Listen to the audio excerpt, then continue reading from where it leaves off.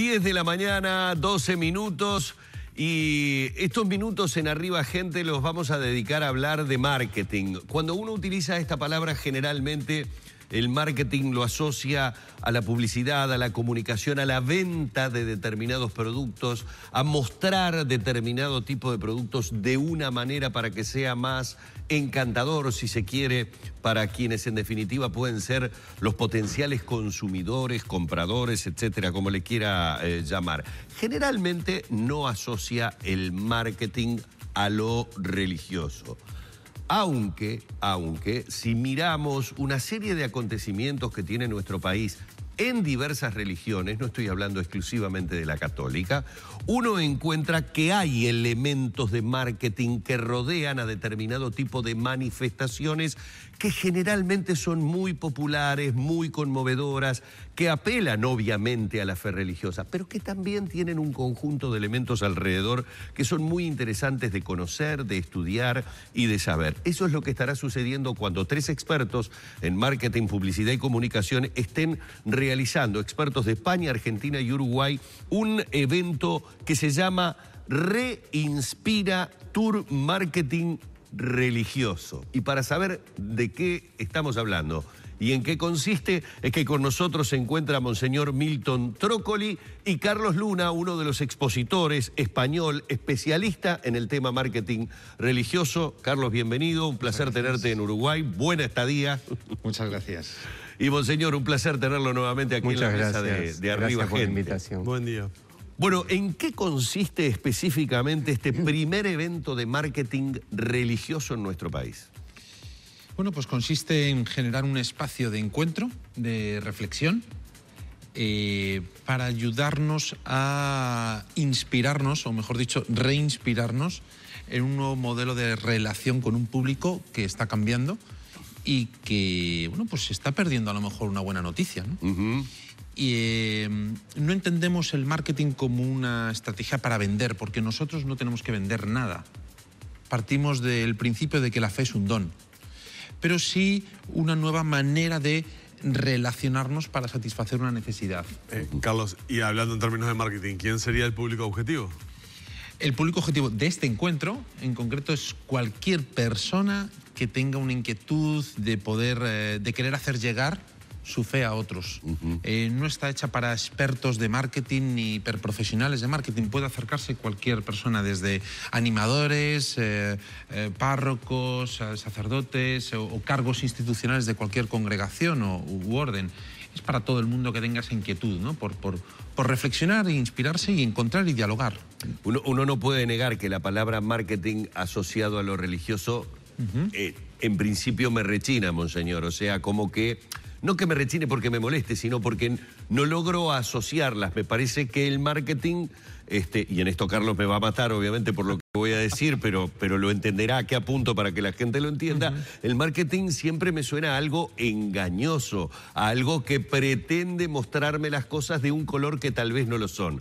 Pero para hacerlo un poco más claro, tal vez lo que dijo Danilo antes de la nota cuando le comentó a usted, el tema de las balconeras puede enmarcarse dentro de un marketing religioso, aunque haya tenido obviamente otro tipo de eh, movilización y Terminamos todos hablando de las balconeras. Obvio. ¿sí o no? Hasta el sistema político terminó hablando de las balconeras. Sí, lo de las balconeras para nosotros fue, bueno, fuimos los primeros sorprendidos, ¿verdad? Pero, pero a la vez sí, tuvo un éxito, digamos, en, en cuanto a, comunicación, que fue muy importante.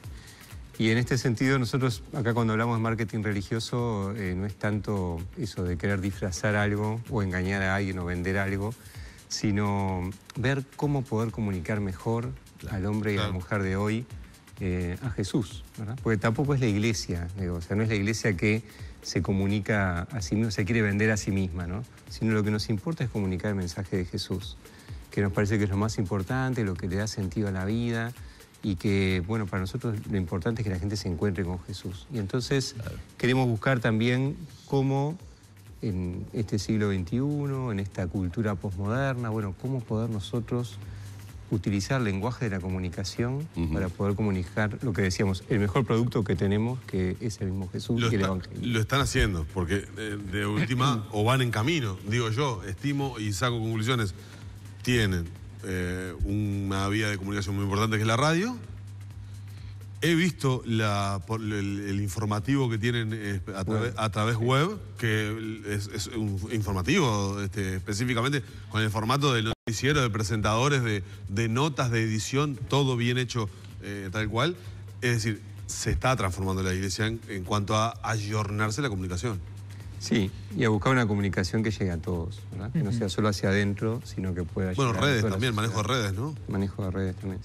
Bueno, y a propósito de eso le pregunto a Carlos, porque seguramente si, sí, sí, es un obviamente estudioso del tema de la comunicación y, de, y, de, y del marketing, le debe haber pasado a mí me sucedió como comunicador que soy desde niño, que me fascinaron todas las películas que tuvieran que ver con la vida de Jesús. A todos nos sucede. Cuando llegan particularmente fechas tradicionales, vemos que muchos canales de televisión colocan y allí seguimos un poco. En Semana Santa también sucede un poco lo mismo. Y a mí siempre me llamó la atención cómo conseguía, no solamente Jesús, sino todos aquellos que querían predicar algo en aquellas épocas, para poder pararse en una roca y llegar, ¿eh? porque yo me imaginaba, o tenían una voz privilegiada o conseguían lugares con una acústica particular, porque bueno, hoy todos necesitamos de un micrófono para poder tener y llegar a mayor cantidad de gente. De alguna manera, metafóricamente hablando, es, estas épocas nos hablan de que necesitamos de otro tipo de micrófonos para llegarle a la gente. Por ahí va lo del marketing religioso, de decir ¿Cómo y a través de qué vías nos comunicamos?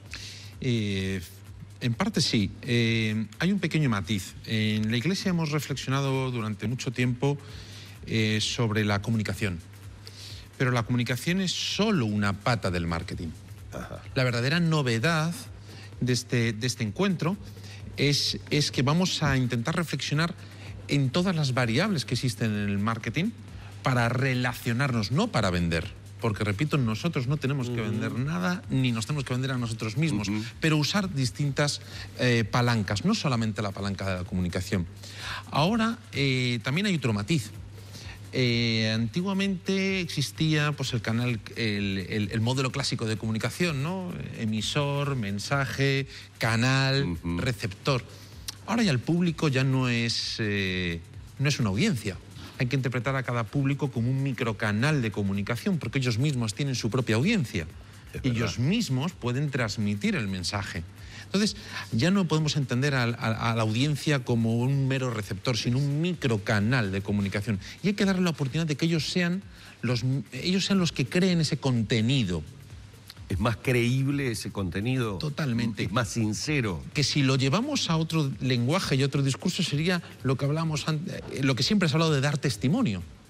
Pero hay que generar un nuevo contenido que, que, permee, que, permanezca en el tiempo, que se viralice y que sean ellos mismos los que lo comuniquen. Y aquí vamos a reflexionar sobre eso. Es decir, al final no es un mero yo institución comunico a una audiencia, sino qué relación voy a tener entre las dos partes para que ellos mismos se quieran relacionar con nosotros. Hay mucha gente que se está perdiendo eh, eh, el mensaje y la buena noticia, por muchos motivos.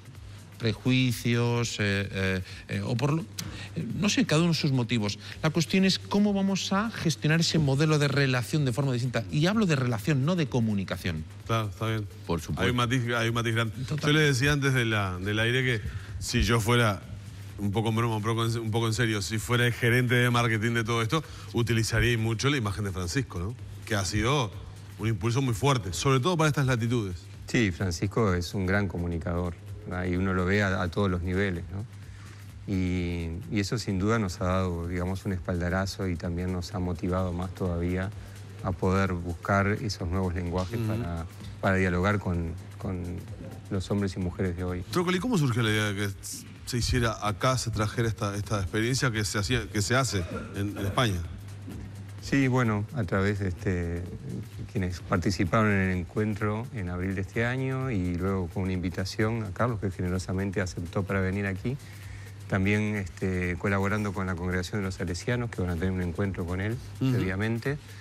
Y bueno, y así que y a él le gustó también la idea de poder venir a estas latitudes, aquí a Uruguay, también por lo que conocía de Uruguay, para hacer la primera experiencia, digamos, fuera de España, de, de, bueno, de este anuncio de marketing religioso.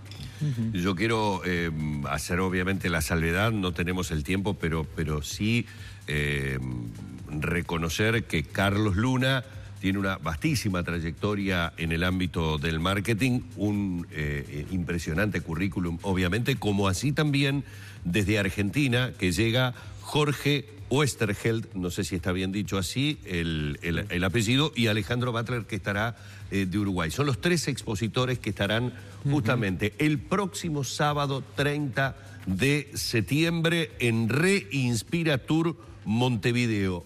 Movie eh, Montevideo Shopping, ¿cómo hacen las personas que estén interesadas en participar, en, poder ver cómo se va a desarrollar este Reinspira, Monseñor?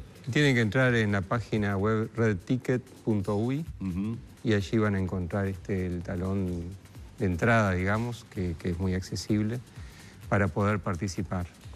O sea, redticket.ui y ahí ya eh, obtienen la entrada. Muy bien, muchísimas gracias. Buena estadía en nuestro país, que sea buena la experiencia para que haya un, retorno a disfrutar de estas latitudes también. Muchas ¿eh? gracias. Monseñor, un placer haberlo tenido en la mañana. Cerramos por aquí la entrevista junto al Monseñor, eh, Monseñor Milton Trócoli y a Carlos Luna, especialista en marketing religioso.